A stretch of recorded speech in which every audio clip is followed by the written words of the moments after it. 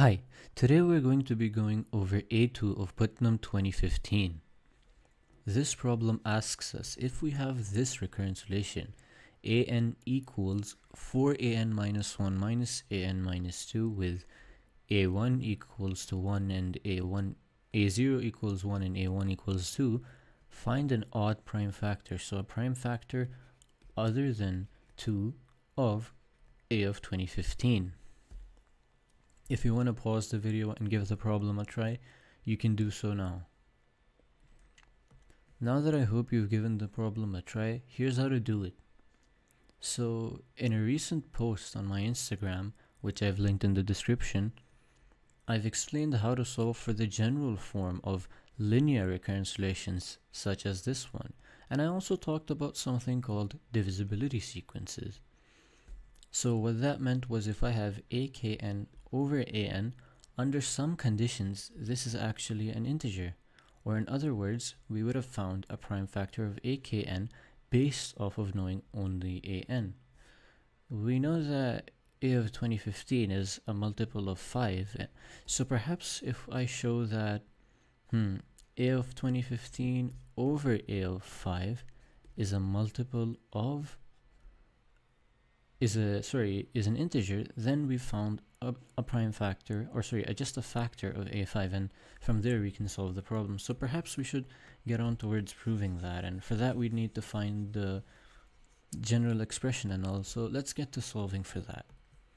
The recurrence relation is an equals 4an minus 1 minus an minus 2 its characteristic equation would be t squared minus 4t plus 1 equals to 2 equals 0.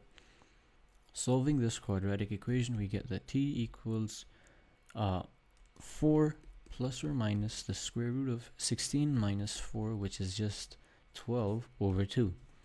The square root of 12 is 2 times root 3, so this would simplify to 2 plus or minus the square root of 3. Therefore, by the theory of linear recurrence relations, which if you haven't studied yet, it's in the post in the description, we have that an equals 2 plus the square root of 3 to the n times c1 plus 2 minus the square root of 3 to the n times c2. Plugging in our initial condition of a0 equals 1, we get that this would imply that c1 plus c2 equals to 1. Plugging in the second condition of a1 equals 2, that would imply that uh, factoring stuff out and doing a bit of mental math, that would imply that 2c1 plus c2 plus the square root of 3 c1 minus c2 equals to 2 and well we see that c1 plus c2 this well this is just 1 so we have a 2 here overall. And this would cancel out with the 2 here so we're just going to be left with c1 equals c2 and well we know that they're equal numbers c1 plus c2 equals 1 so they're both a half. So we've solved for the general formula for our sequence. It's an equals a half times 2 plus the square root of 3 to the n plus 2 minus the square root of 3 to the n. Let's try to consider some ak of n. And to note that kn is odd, well because 2015 is odd or a power of 5. So let's just keep that in mind and consider ak over n over an. Well, that would be the 1 over 2 is cancel out. So that would be 2 plus the square root of 3 to the kn plus 2 minus the square root of 3 to the kn over 2 plus the square root of 3 to the n plus 2 minus the square root of 3 to the n.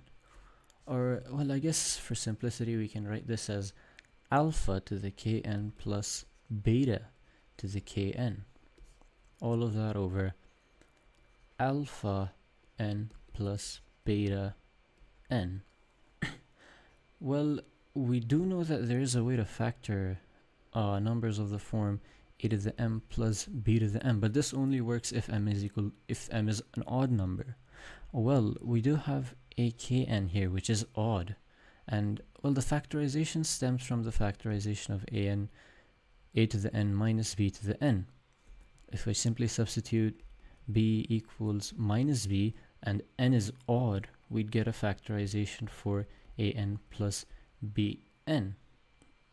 So we know that in this factorization for here, we would, if this was, let's just say this was a kn minus b kn, we know that a to the n minus b to the n, that's actually a factor of this because of obviously the factorization for this.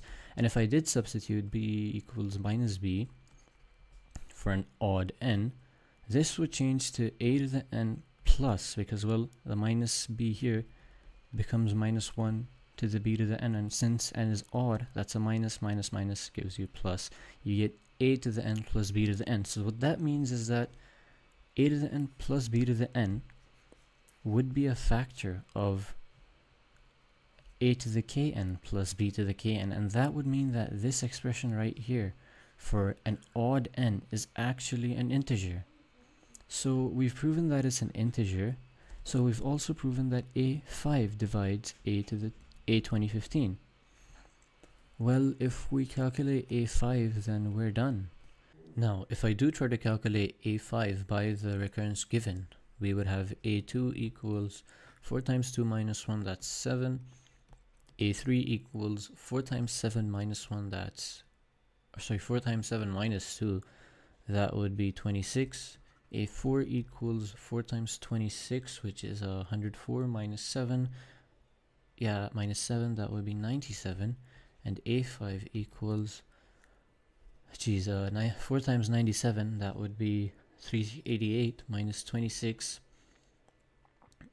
uh, uh that would be 362 so yeah okay 362 this is clearly even so if I divide this by 2 I get 181 and as it turns out 181 is actually a prime so our answer is well simply 181 that's it so clearly if one was well acquainted with the theory of linear recurrence relations and divisibility sequences then this would have been free marks on a Putnam.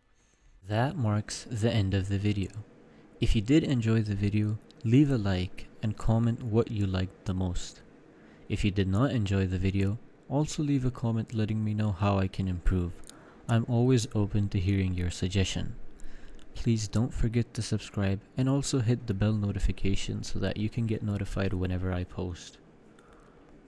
I also have an Instagram page where I post notes regarding theory in mathematics. If that is interesting to you, please do consider following that as well. My at is creative underscore math underscore.